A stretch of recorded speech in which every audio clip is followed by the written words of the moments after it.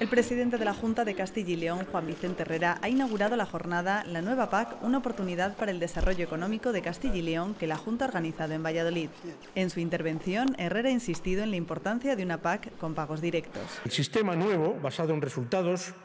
genera además interrogantes que deben despejarse, por ejemplo, en torno a la delimitación del nuevo marco común de la PAC compartido por todos los países y eh, genera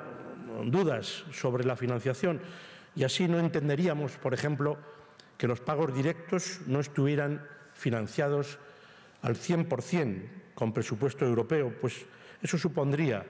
diferentes velocidades de aplicación de las políticas en función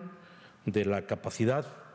presupuestaria o incluso de la coyuntura económica de cada Estado. Juan Vicente Herrera ha indicado que la reforma de la PAC debe fijar población en el medio rural, impulsar un sector agrario más competitivo y rentable y compatible con la protección del medio ambiente.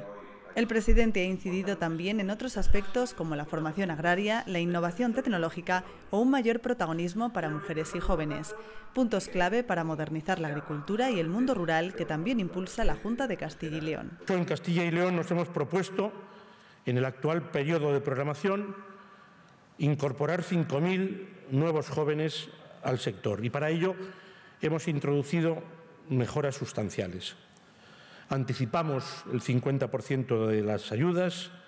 no es necesario justificar los 20.000 primeros euros de las mismas y aumentamos la cuantía máxima de ellas hasta 81.000 euros. Y también estamos avanzando, aunque en esto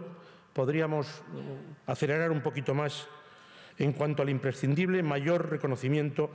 del papel de la mujer rural. La jornada ha contado con ponencias de representantes de la Comisión Europea, de eurodiputados y del secretario general de Agricultura y Alimentación del Gobierno de España.